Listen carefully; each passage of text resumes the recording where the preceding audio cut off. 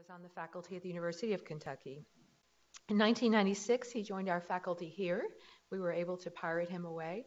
And uh, after a little brief uh, uh, trip to Ohio State, he came back, and we're very happy that he did. He is currently the Associate Vice President for Translational Research, the Chief of Research of the Division of Gastroenterology, the Cl- Director of the Clinical Trials Unit, the Associate Vice President for Health Affairs and Research. And his research interest, as many of us know, has to do a lot with nutrition and also alcoholic liver disease. And he has many grants um, in, uh, related to that. He's on numerous editorial bo- boards, has been in invited lectureship both nationally and internationally.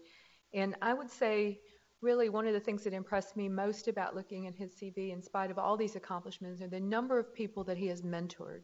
So he's really truly been one of those persons who helps to train the future generation of physicians.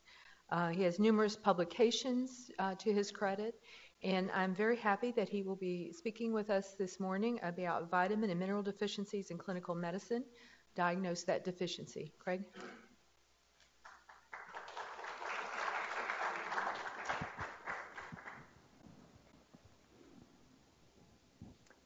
Thanks, Barb. It's uh, always fun to give this talk. I try and do it about every four or five years because uh, uh, medical students and fellows aren't going to really see this anyplace else. And actually, a lot of these cases are on different boards that I've contributed to over the years. So uh, I have no disclosures related to this talk. Uh, this is where we're located and do our research. So our objectives in the next uh, 45 or 50 minutes are to um, be able to diagnose vitamin and mineral deficiencies and be able to uh, treat them. So minerals, uh, I think you all know iron deficiency uh, causes anemia. Magnesium can cause muscle cramps, heart arrhythmias. Calcium's involved in uh, uh, bone metabolism.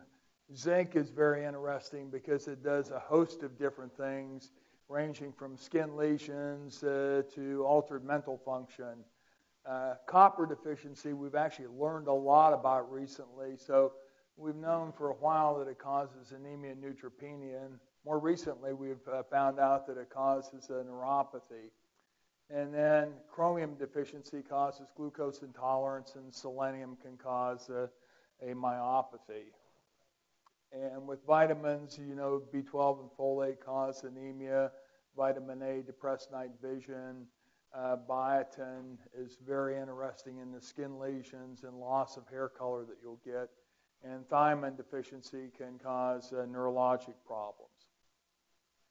So, how did I get interested in this and get involved in this? So, as uh, Barb said, uh, I uh, was at the University of Minnesota for my fellowship in early faculty training.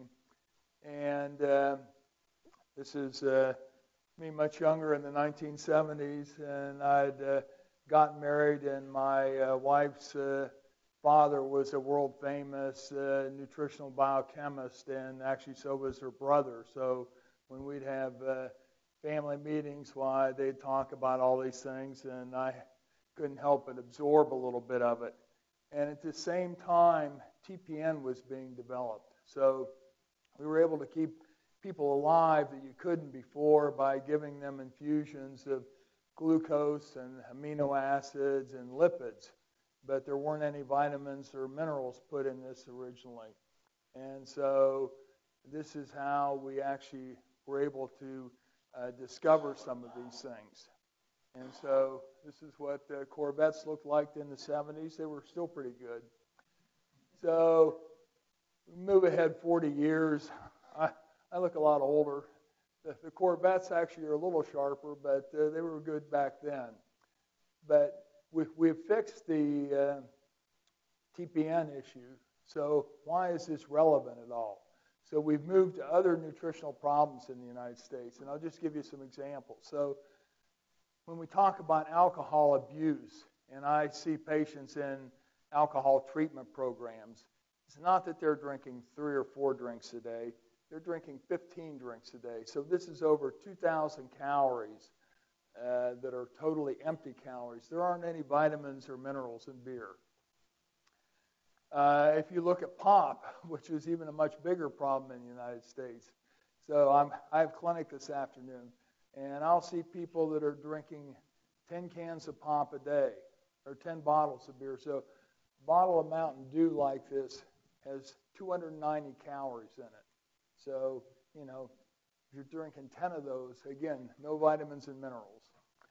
And the thing that really precipitated stuff was gastric bypass surgery, which is a malabsorption surgery. And so, with the malabsorption, why the patients were not absorbing uh, minerals and vitamins. So, we're going to go through some cases.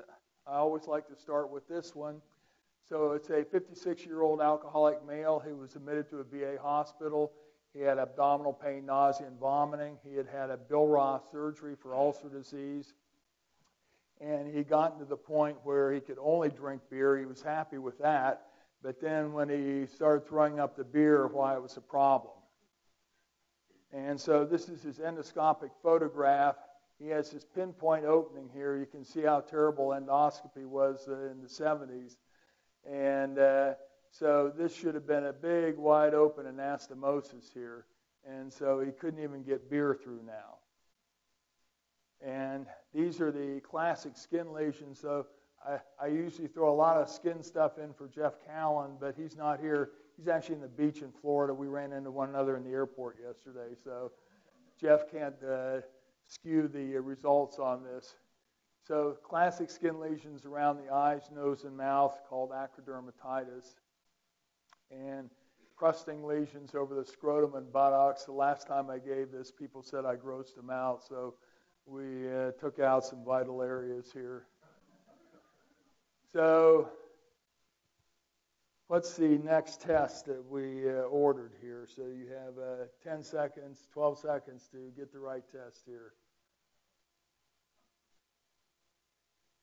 And people are going in pretty good directions here. Okay, so most people think it's zinc, which is the right answer. Niacin is actually a possibility, so niacin can give skin lesions too, but these are classic zinc deficiency skin lesions. So this patient had a serum zinc level of 10 micrograms per deciliter, normal 70 to 120. And just three days of oral zinc supplementation, even though this guy couldn't take anything by mouth, he was throwing up all the time, he absorbed enough oral zinc that these skin lesions went away. And uh, so, zinc is a critical antioxidant. It plays a role in zinc metalloenzymes. It plays a structural role in these transcription factors called zinc finger proteins. And so the zinc is held in there by cysteine residues. And so what we know now is oxidative stress damages the cysteine and the zinc floats out. So if you have oxidative stress, that can actually induce a zinc deficiency state, even if you're taking oral zinc in. And uh, then zinc also induces metallothionein, which is a metal binding protein. It binds mainly zinc and copper, and uh, we'll talk about that a little bit later uh, as its role in um, treating Wilson's disease, for example. So you uh, give high amounts of zinc, that induces metallothionein and blocks copper absorption in the intestine. So zinc is really interesting because it can present in a host of different ways, the zinc deficiency. And I've showed you the skin lesions. We'll show you some more of those. In kids, it can uh, present as growth retardation. Uh, we've seen poor wound healing, impaired immune function. I'll show you some diarrhea cases. So, um, and this is because these zinc finger proteins are so important in a whole host of metabolic processes. So, um, the important concept here is that there are some patients, and a lot of these are people in the intensive care unit, who have much higher demands for zinc than the normal person. So, you may think you're giving enough, but you're probably not. So these skin lesions are called acrodermatitis. And here's uh, one of our early patients that we described skin lesions around the nose and mouth, around the eyes a little bit. This patient had cancer with enterocutaneous fistulae. This is the first patient with Crohn's disease that was described. And again, uh, he had uh, multiple fistulae and classic lesions around the eyes, nose, and mouth. And again, over the uh, scrotum. And here's one of my uh, zinc deficient rats. So you can see again the classic crusting lesions around the eyes, nose, and over the paws here. So it's very similar from one species to another. Now, we mentioned poor wound healing. so, again, back when I was at Minnesota, why uh, they had a, a, patient that was at the university hospital had uh, bad complications from surgery, multiple enterocutaneous fistulae, and uh, these uh, fistulae just weren't healing. And so they shipped them over to the VA, and one of the residents in surgery that heard me talk about zinc said, you know, these crusting skin lesions over the ear might be zinc deficiency. And so here's the guy a week later with zinc supplementation. The fistulae have healed and his skin lesions have healed. Now, we mentioned diarrhea. And this is a patient that had C. diff, and I was actually scoping her to see if her C. diff was improving. And she had these terrible skin lesions around the buttocks here. And so uh, while she had an IV in, we just pulled off uh, some blood and ran it in my lab real quick, and her serum zinc again was markedly reduced. And the amazing thing is, these skin lesions again will they look terrible, but they'll heal in two or three days. It's just amazing. I've had patients where I was going to come back and take pictures. I come back over the weekend and everything's gone. And one of the things that zinc does is it disrupts barrier function. So if you have zinc deficiency, the tight junctions in the intestine are screwed up. You have increased gut permeability. And this is a study in Crohn's disease where you have diarrhea, where they gave zinc supplementation and the gut permeability improved after eight weeks of zinc therapy. Now, this is a young girl uh, with zinc deficiency. So uh, she was at uh, again at the University of Minnesota, had a uh, uh, actually most of her bowel cut out because of uh, congenital abnormalities, and so she was on TPN, and we were giving her the appropriate amount of zinc, or what we thought was the appropriate amount, and she developed these lesions around the mouth. So children develop just little kind of cheilosis areas around the mouth but this terrible looking kind of like diaper rash over the buttocks. So different ages, you develop uh, different distribution.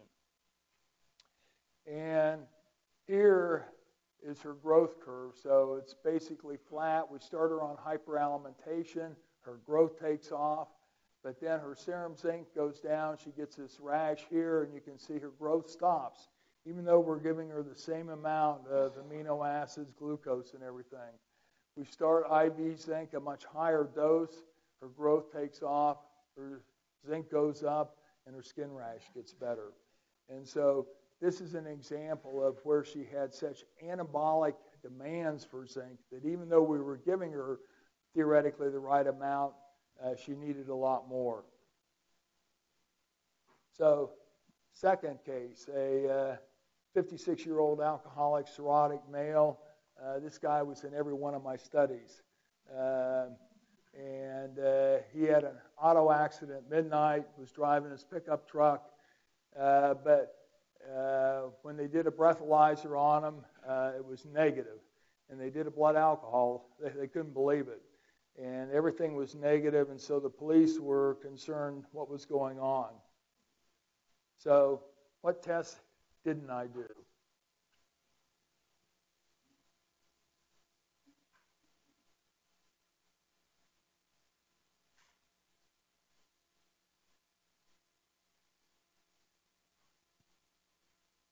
So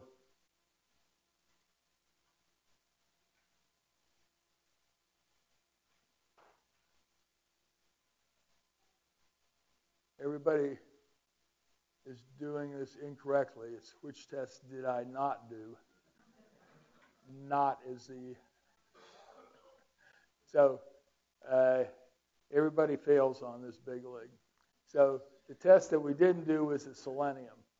So this patient has uh, problems with uh, night vision, as we'll show you. So has low vitamin A, low carrier protein for vitamin A, retinol binding protein, and low zinc.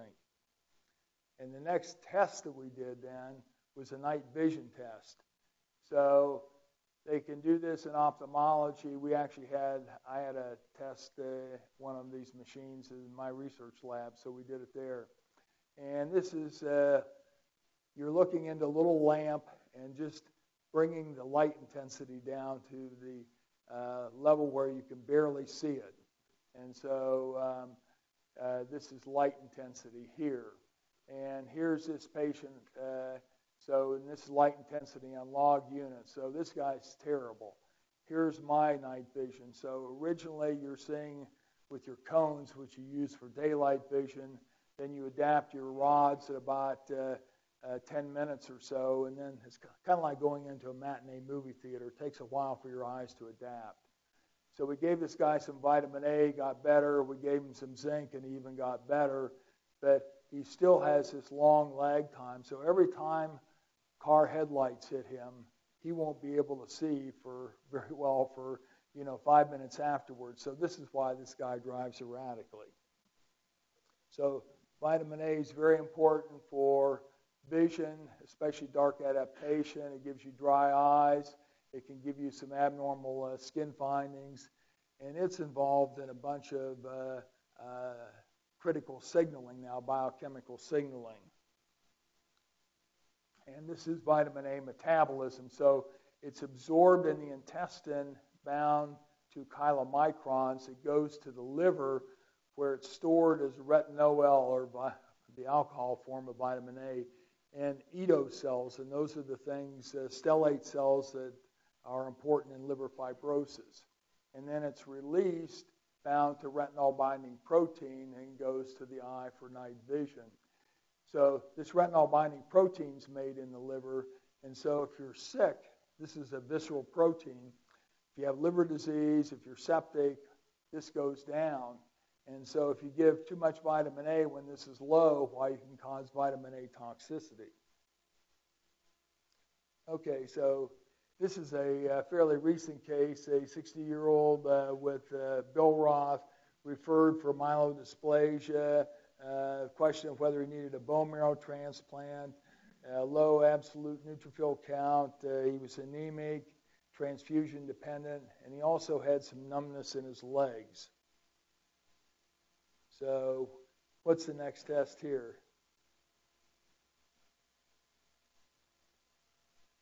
Yeah, people are hot on this. So, we've seen several of these cases, and actually, the hematology services has seen several too that we've talked about. So, this is copper deficiency, and actually, in the workup of myelofibrosis now, the hematologists always get a serum copper and ceruloplasmin level. And so you can see he's transfusion dependent, gets a transfusion, goes up for a while, then goes down, uh, neutrophil counts down, start intravenous copper, neutrophil count goes up, no more transfusions. So copper deficiency results in an anemia that's not responsive to iron therapy. So it's usually normocytic or mi- microcytic. And um, once in a while, you can get uh, hypopigmentation, immune dysfunction. And then recently, these neurologic deficits, especially peripheral neuropathy, have been described. And oral zinc induces this metallothionein again in the intestine. And so that's uh, why high zinc therapy can block copper absorption, which again is the rationale for giving zinc in Wilson's disease. In fact, that was the first orphan drug uh, ever made. So the next guy is a tennis partner of mine uh, with Crohn's disease. He's had eight surgeries, but he's in really good shape. Uh, he's a photographer for National Geographic. and he always beats me uh, in uh, tennis, which was a problem. But uh, fortunately, he was getting a little stiff. His docs told him he had osteoarthritis, and I may have a chance of beating him. Uh, I told him it didn't sound like osteoarthritis. So, what test did I order?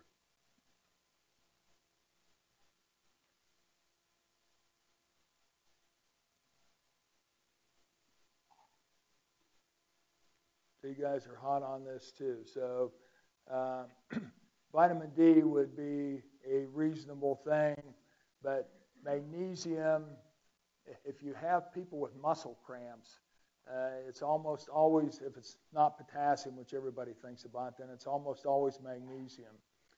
Uh, and if you look at our liver patients, our cirrhotics, this is fatigue is the thing they complain about most. Number two is usually muscle cramps, which people don't think about. And we give uh, zinc and magnesium there.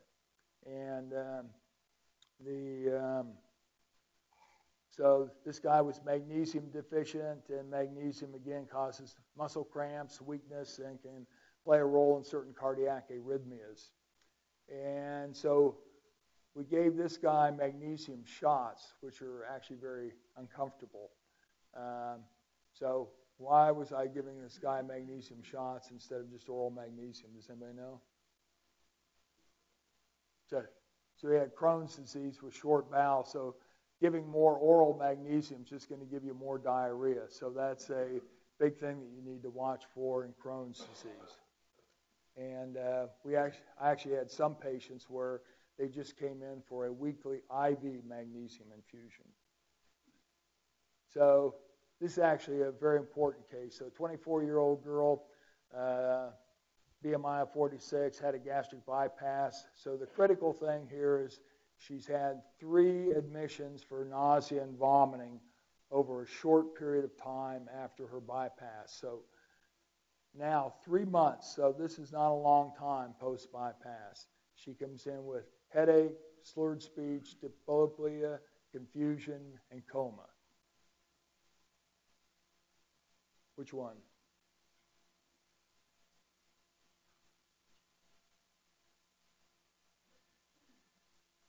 So her life literally depends on whether you guys are right. Okay, so pretty good. So it's IV thiamine. So um, we gave her, uh, I think, either 50 or 100 milligrams, I can't remember, of IV thiamine. And so you have to do that literally immediately. And uh, 80% of her symptoms were gone by one week. So, this, again, we said gastric surgery has brought a lot of these things back to the forefront. And this is a good example. So, this has this uh, name APGARS, acute uh, post gastric reduction surgery neuropathy. And the critical thing with thiamine deficiency is it occurs quickly. And so the classic story is just a short time after they've had their surgery, uh, they'll come in. They always have recurrent nausea and vomiting.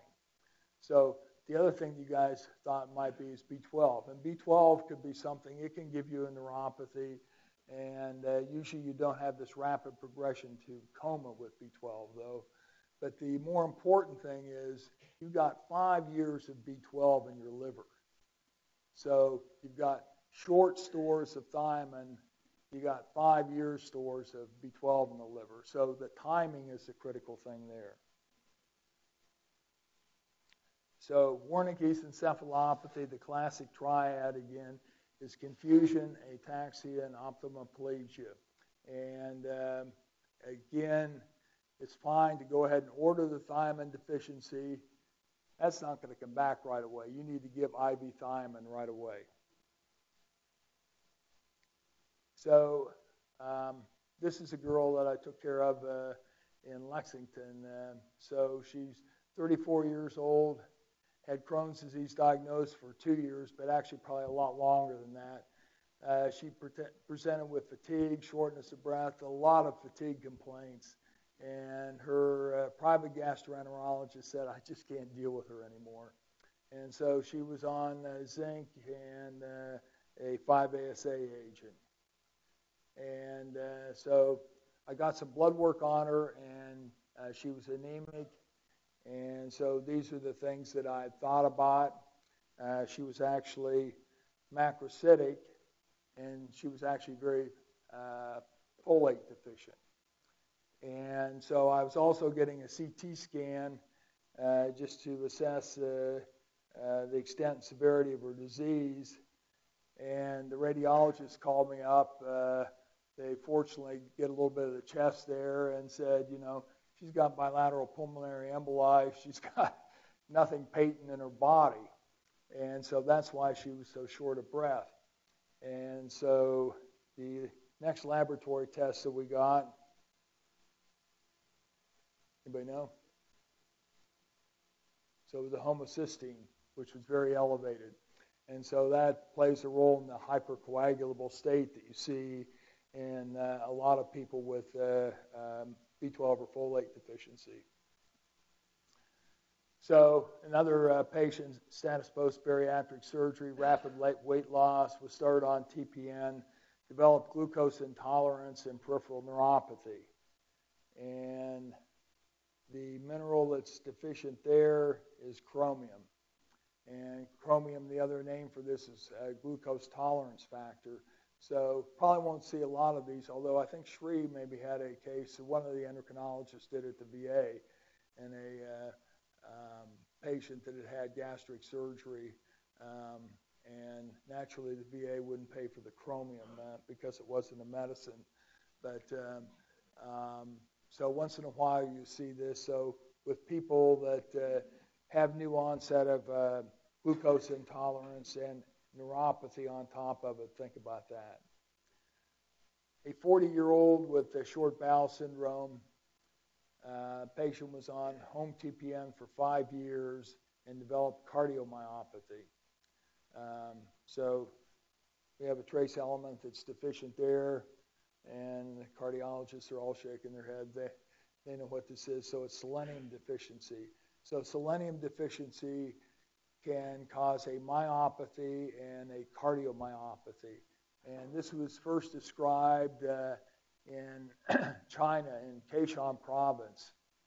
So the reason this would never happen, except for TPN or something like that in the United States, that does happen or did happen in China, is we don't eat what we grow. So our food shipped all over the country. And so there are areas of soil that are selenium rich, there are areas of soil that are selenium poor. That's even in the United States. But again, nobody in the United States eats what they grow. So that's why you don't see it here. But in Keshan province, which was very selenium poor in China, why the patients got it and their animals actually got it. Now, the other interesting thing about selenium is selenium deficiency can cause a virulent Coxsackie virus to mutate and become virulent. And there's a woman, uh, Melinda Beck at uh, North Carolina, that she's made her whole career looking at uh, viruses that mutate uh, in a selenium deficient environment. But Coxsackie is the major one. Next patient actually uh,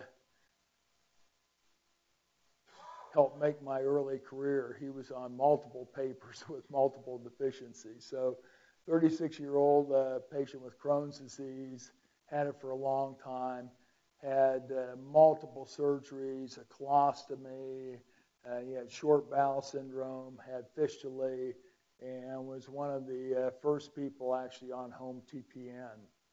And uh, he knew more about home TPN than actually most of us did, uh, taking care of him. And so his TPN included uh, a vitamin solution and a lipid solution, intralipid. And he had chronic urinary tract infections and was on intermittent therapy for this. And he developed a skin rash. Uh, we gave him a truckload of zinc because he originally had zinc deficiency. We reported that, but didn't fix him. We gave him more lipids, He originally had fatty acid deficiency. That didn't fix it. Uh, he got depressed for good reason, had some uh, paresthesias, and uh, this is what he looked like. So uh, he lost his uh, hair and lost the color of his hair and had uh, these skin lesions around his mouth and this conjunctivitis. And we were really at a loss to know what was going on. Fortunately, he was a lot smarter than we were. So uh, a couple months later, he walks into my office, looks like this, and said, I figured out what was going on. And so um, in the vitamin solutions for home hyperalimentation, uh, they, um, for the chronic patients, why they have what this guy was deficient in. Um, but uh, there had been a shortage of that vitamin preparation, so they switched him over to another one without telling anybody. So this guy had biotin deficiency, which uh, presents exactly like we showed you. This guy was in JAMA. This is really the first good reported case in the United States. So he had conjunctivitis, this dermatitis, and um, again, he developed uh, lethargy and paresthesias. And so his problems were, and this is the reason why not many people get it, he had no intake. Your GI tract normally makes biotin, but he was on antibiotics for his urinary tract infection, so that suppressed it. And then he had all these losses with the fistula that he had. So this is a uh, recent case and uh, what I'm seeing in clinic all the time. So, 18 year old white male, he was sent for increased liver enzymes. He's been overweight all of his life. Uh, he was drinking at least 12 Mountain Dews a day. Uh, he was trying to cut back. He actually came from a little town in Kentucky.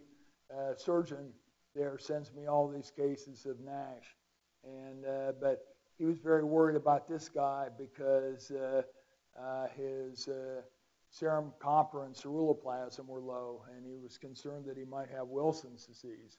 and the guy came in and uh, he said, my, my, doc told me you're going to be pissed at me for uh, all these Mountain Dews that I'm drinking, so I've cut down from 12 to 4.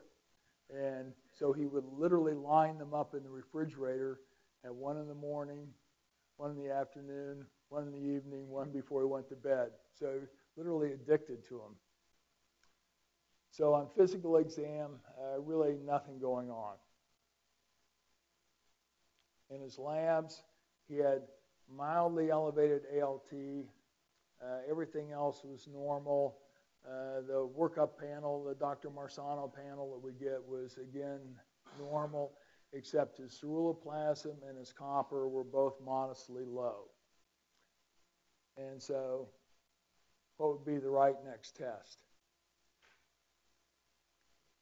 So, actually, any one of them would be okay. I got a 24 hour urine copper because probably the easiest to get. So, if this guy has Wilson's disease, his urine copper is going to be very high.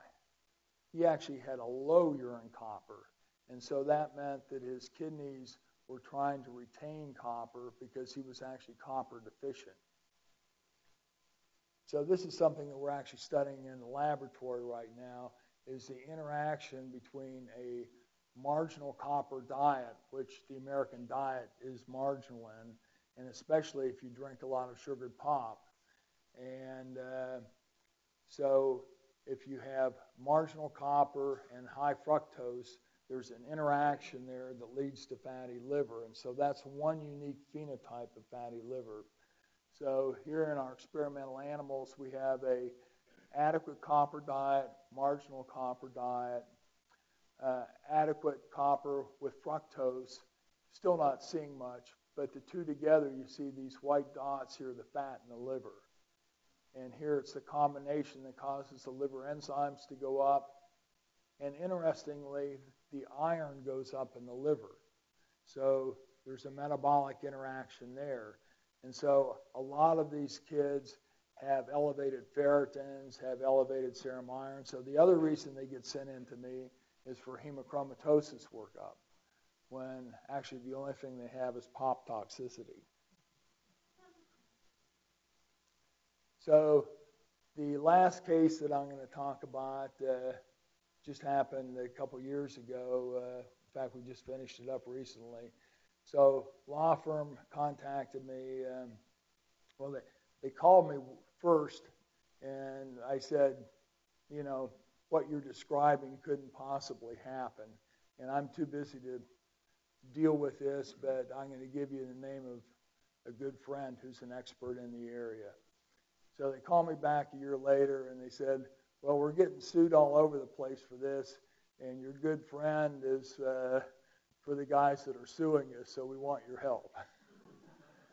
so it's a class action lawsuit and uh, also some individual cases. And these patients had peripheral neuropathy and neurologic complications. They had, uh, some of them had anemia, and they had high serum zinc and low serum copper. So, who did the law firm represent? Which one of these companies that makes what?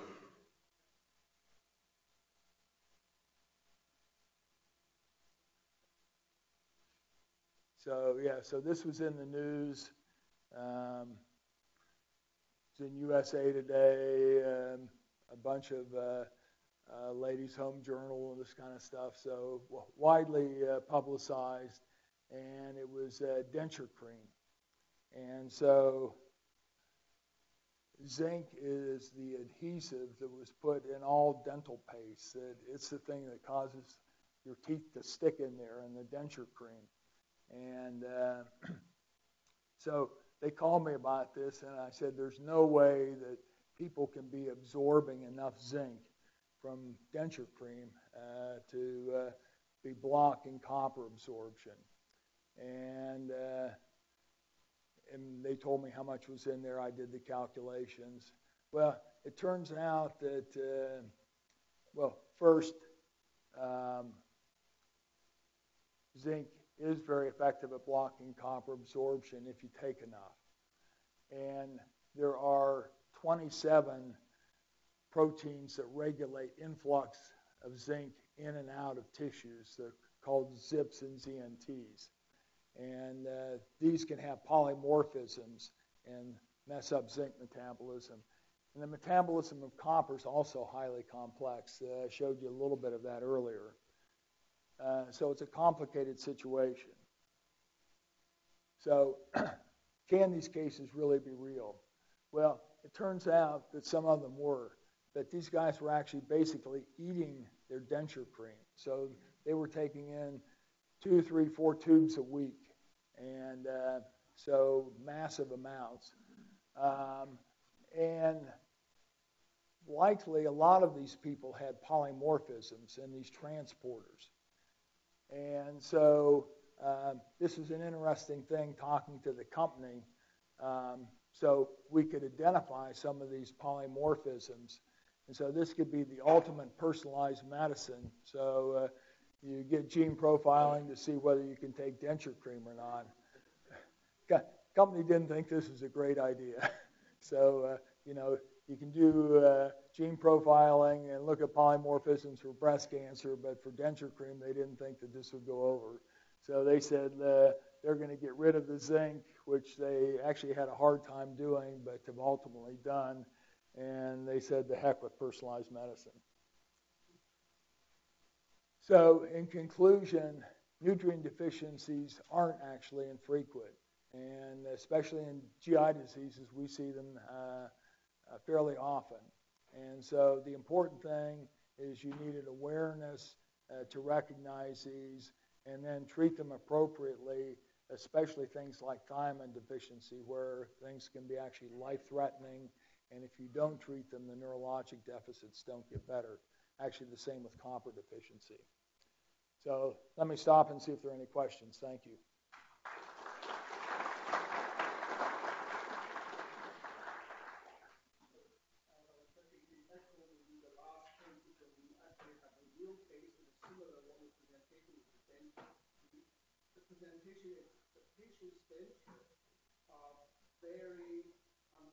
Right, right, right. We use a lot of uh, those kind of uh, cream. Yeah. Because now the denture cream has been much more safer, cut down the disease Right.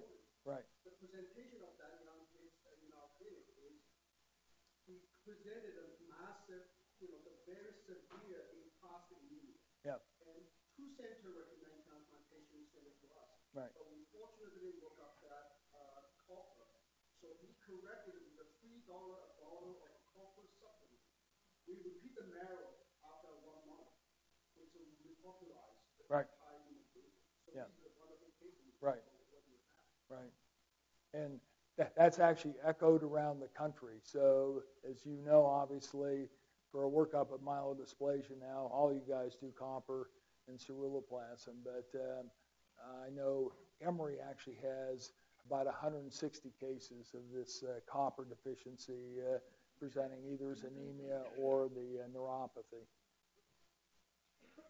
on the assays for these mineral nutrients, are they readily available in most labs, and are they much more expensive than a CMG, or is the cost reasonable? I'm just curious. Yeah, so everything's individualized. So some of where they are run by a thing called atomic absorption, why it's simple that every lab does that. Uh, so magnesium, iron, zinc, copper, uh, th- those are easy. Uh, whether they tell you anything or not, is kind of a different story sometimes. So um, my issue with serum zinc, it goes down with acute stress. So if I went to the ICU and I found somebody with a normal serum zinc level, they should not be in the ICU. None of my patients with alcoholic cirrhosis have a normal serum zinc level. And um, so um, the inflammation causes the zinc to go down. So, so there, if somebody's sick, we just give zinc. Uh, the copper levels are usually pretty helpful. Magnesium levels can actually be normal and still have low total body magnesium stores, so you can be tricked there. For the um, things like selenium and copper, those are sent out. They usually ultimately go to the Mayo Clinic to get run.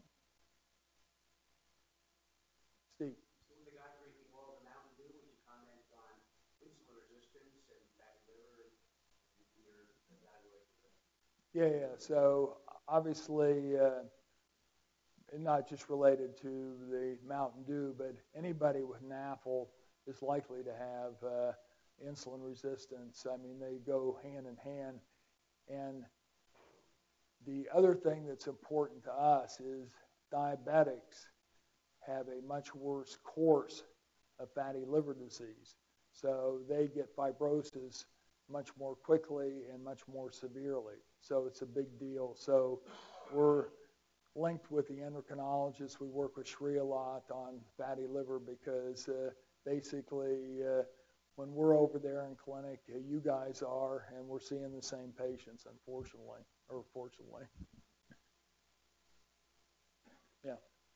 I had a patient with um, uh, on TPN developed cardiomyopathy, and uh, when we looked at the selenium and replaced it, but we didn't see any recovery.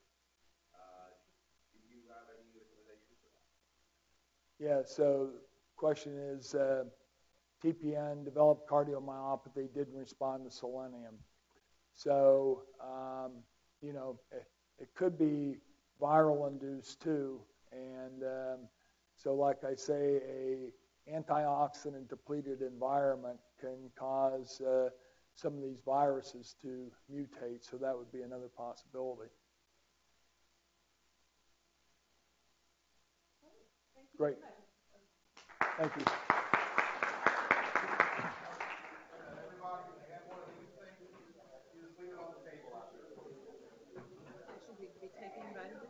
Ah, I, I take a vitamin every day. Do you? Oh, yeah, yeah. I